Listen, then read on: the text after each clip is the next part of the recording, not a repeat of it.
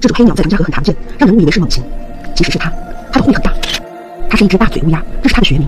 很多人不喜欢乌鸦，觉得它们不漂亮。但丹麦作家凯伦布里克森在代表作《走出非洲》中这样描写乌鸦：它们一律全黑，是甜美尊贵的非洲黑，浓重的暗色随着岁月的浸淫渗进身体，像是老烟灰，让你感觉到在优雅、气势与活力的表现上，没有颜色可以敌过黑色。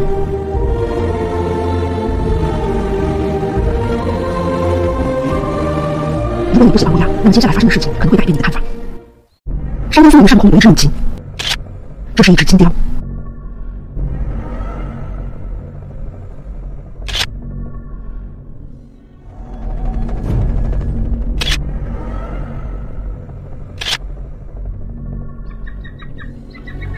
听到了叫声，抬头观察，锁定埋伏者，然后，黑色的羽毛在空中反射出了阴性的光。浩瀚的天气引导它为巨大的能量蓄积在喙和爪上。它空向金雕，像一只火旋镖。仔细看，跟一盏超过两米的金雕比，它实在太小了。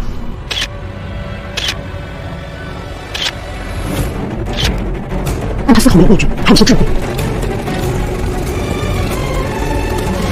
看准时机，俯冲下去。一差一点，突然转弯，这一次他骑到了掠食者身上。比翼双飞可以是求偶游戏，也可以是军事战略。直击之翼，盘旋，弯刀夹击，直击尾翼。